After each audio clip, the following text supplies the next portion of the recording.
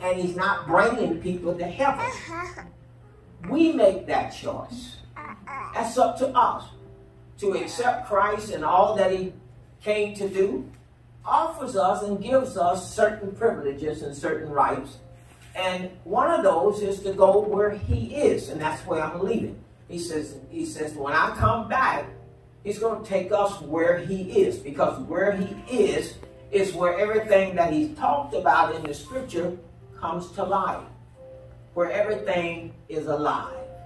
And one of the things that we talk about even now, why do we talk about love? Because the one thing that trouble, trials, and problems in life does, it makes us doubt whether people care about us.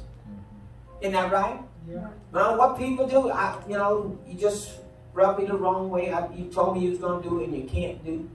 You say you're going to do something, you don't do it because you didn't have the moment to correct that. Now all of a sudden people look at you as a liar, as somebody that didn't tell, tell the truth and etc. No, I'm not a liar. I just didn't get the opportunity as soon as I thought I would get to offer my apology and change. Did you know the Bible said that a man should swear to his own hurt? You know what that means? That means if you say it, do it. If you can't do it, you stand behind it. And the only person that have the authority to release you from it is the one that you promised it to. I mean, if you're going to stand by the scripture. He so loved you and I. And when I talk about, when I talk about this whole love business, you think that it doesn't have anything to do with it. But let me tell you something. If you cannot love the Lord Jesus Christ, whom you see every, whom you don't see, if if you say you do, you may want you might want to check that out because the people you're supposed to love are the ones you can see. The ones that you claim you do love, I love the Lord. We sing about it. We declare it. But you can't love him and hate people that he loves. You can't love him and dislike people that he loves. A testimony of your love is to love the people that don't love you. See, there's no reward for that. People that you love and they love you back, there's a reward. There's a certain amount of gratitude and a certain amount of warmth and authenticness that you get from that. But when people don't love you back, you don't feel anything in return.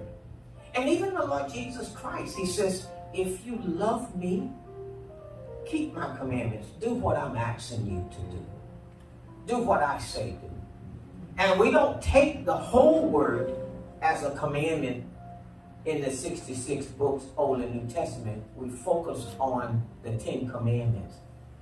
No, the Ten Commandments can be outlined as talking points, under which a whole lot of additional information comes under. Hello, somebody. Did you know that the Lord says that we are to walk as He walked? The Bible tells us that in Ephesians. Turn to Ephesians chapter 5. As dear children. Hold, hold it. Hold it. So this then this is not a, a suggestion. For me to walk in love is not a suggestion because this is wrote out in scripture to remind us that God's attitude about loving and walking in love is very serious. Be ye therefore followers of God. You know that word follow is translated imitator. So what he's really saying, he says, I want you to mimic what I do. I want you to imitate me when it comes to interacting with people, loving and being loved, giving and receiving love. He says, I want you to do what I do as dear children. And what I like about that is that number one, children usually do what they're told to do by parenting, but also he's given us an opportunity to grow in this thing. Mm-hmm. It's just like children growing the things that they're. He said, I want you to grow in love, and I want love to flow in you. Okay? That second verse for me. And walk in love as Christ also have loved us. You see that? Walking in love, perfecting love to the degree that it's not a visit. It's not something you do when you feel good, you feel warm. He says all of time. How much can you take from unlovely and unlikable people? How much can you stand up against? Can you Can your love stand the test of time? Wow. Look at that. Can you handle it? And I'll tell you, a lot of church people may find that challenging to do. Are you with me? Yes. We've been commanded. Now, listen to this. If I really love the Lord, He says, if I if I do keep His commandments, I've got to reach souls for Him. Because when He left, it was about reaching souls. Go and preach the gospel to every creature. He that believes and is baptized shall be saved. In my name. Are you with me? And we're relying, listen to me, listen to me. I think we're going to get in trouble. I really do. I think we're going to get in trouble. Because we're relying on Facebook, we're relying on YouTube, we're relying on all of these social media platforms to do what God told us to do. Hello, somebody. Yes. We talk to a lot of people every day and we never offer Christ. And what finer time to do that right now when people are suffering and dying and grieving? What finer time to do that? You say, well, you know, they got a lot of other churches and people that they can talk to. I'm sure they don't want to hear my voice. Listen, he said they will hear your voice. Because who's talking in their ears may not be the one ordained to talk in their ears. They may be waiting on you because you were specifically chosen by God to say something.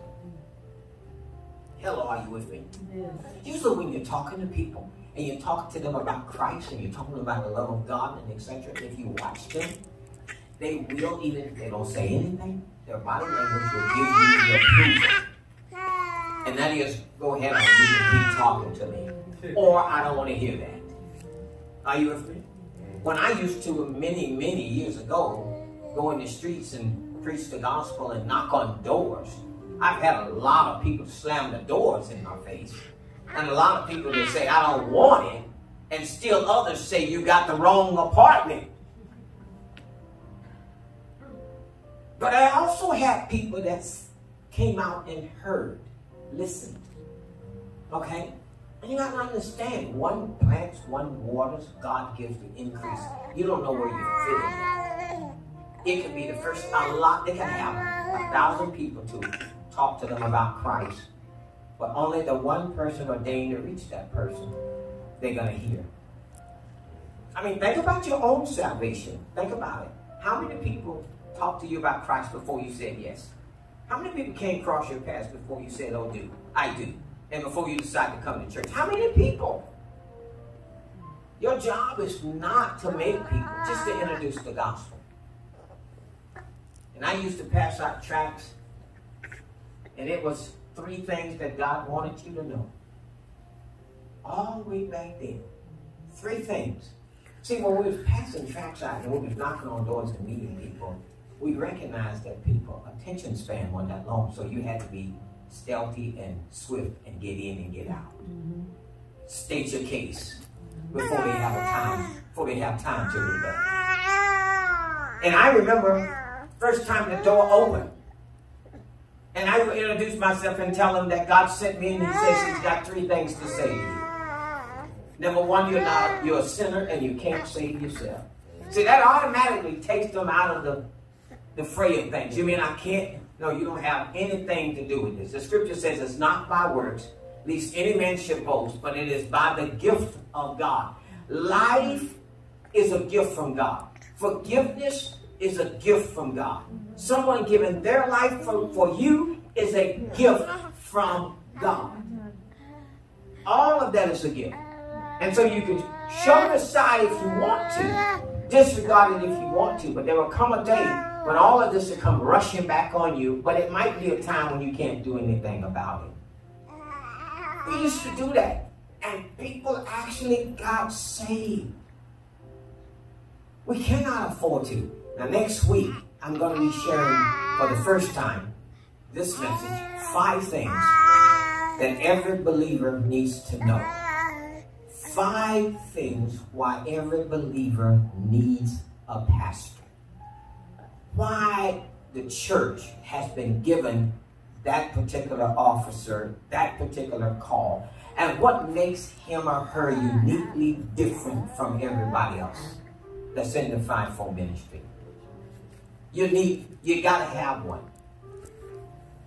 Are you with me? Yes. Yes. I think we had a, a what was that nursery rhyme book a long time ago about the mother? Oh, Mother Goose? No, is this my mother? Oh, yeah. Oh, Who is my mother? Yeah, that's the book by, um, yeah, Are You My Mother? Are you my mother? Mhm. Wow. Listen at that. Dr. Seuss. Dr. Seuss. Are you my mother? And you know, because you can be raised to answer that question differently, mm-hmm. and it's been proven by the educators that it can have an adverse effect on how you see yourself. Yeah. The same way with Christ. Ask him, Are you my God? Are you the Savior of the world? Or should I look for another? Because that's what John sent his disciples to the prison when he was dying. When he when they had thrown him in prison, they said, Go and go and ask Jesus. Say, before I die, I want to make sure I know. Are you the one? Or should I look for another? He said, Go and tell John that the blind see, the deaf hear, and the dead is raised. The poor has the gospel preached. He never gave an affirmative and just said, Go and tell John, yes, I am the one. And I always just say, Tell John to decide on this matter and judge me by the works that I do. If Christ came today, if the Lord came in the earth today, will our works stand the test of time? Who did you get saved lately? Who have you led to Christ lately? Who have you pulled back from the brink of destruction or hell itself? Whose life have you made a difference in lately? That's the kind of answer. You know, when I come to church and and I want to be uplifted and the praise singers are singing, I'm inspired. I feel great. I feel like this is the, the, uh, the pretext to something greater. And if they don't know if they reached anybody else, they reached me because I love the Lord. And I want to hear him say, Well done, thou good and faithful servant.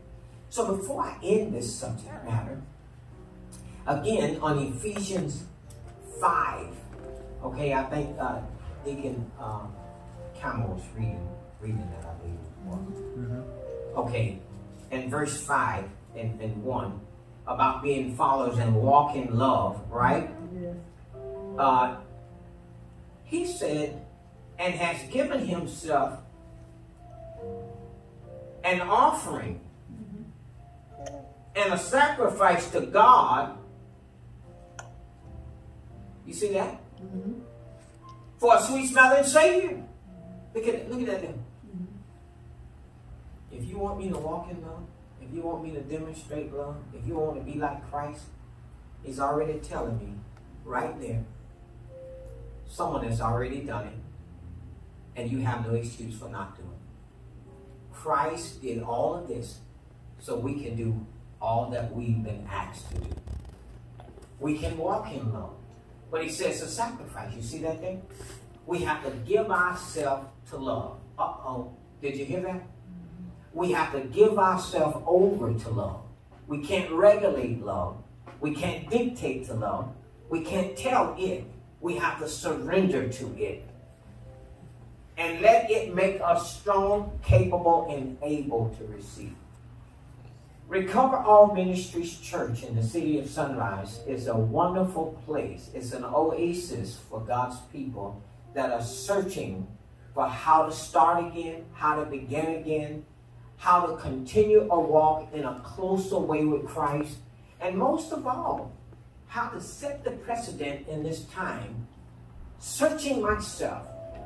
What am I to do in 22? I need to turn inwardly and look at myself and evaluate my commitment to Christ, not to church, to Christ. Not to a building, to Christ. Not to a man or woman, but to Christ. That's what I need to do. That's why we meet here every Sunday at 5 o'clock from 5 to 7 to celebrate God's goodness and to celebrate God's life. So that when you are actually leaving here and others are viewing this telecast, however you're seeing it, listen, this message is for you. What I like about love is love frees you up to be you. You don't have to carry no burden because it's strong enough to carry that burden for you. The Bible says in 1 Peter 5 and 7, cast your care over on the Lord because he cares for you. Don't you want God to bear your burden so that you don't have to bear it? Amen? So I invite you to come out, listen to this message, and if you're not saved, I'm going to lead you in a prayer right now, and hopefully, hopefully, you'll trust the word that your heart is receiving right now. Just bow your head with me. Father, in Jesus' name, I am a sinner and I need a Savior. Come into my heart and change me. You said in your word, if I confess with my mouth the Lord Jesus and believe in my heart that God raised him from the dead, I will be saved. I confess Jesus is Lord. And I'm asking you to come into my heart right now, Lord, and change me. Make me a new creation in Christ Jesus. I don't want to be addicted to church and church buildings, doctrines that are not of your will and purpose for my life. I just want to know you. I want you to come closer, draw me in. Holy Spirit, fill me with your presence. Be my guide, be my instructor, be my teacher, and cause me to walk and live the life that you ordained for me. I receive all that Jesus Christ died on Calvary to bring to pass as my divine substitute. In Jesus' name, amen and amen. God bless you. I hope to see you again. I hope you to tune in again where we will share the important things and principles of the Lord. Amen. amen. Give the Lord a praise.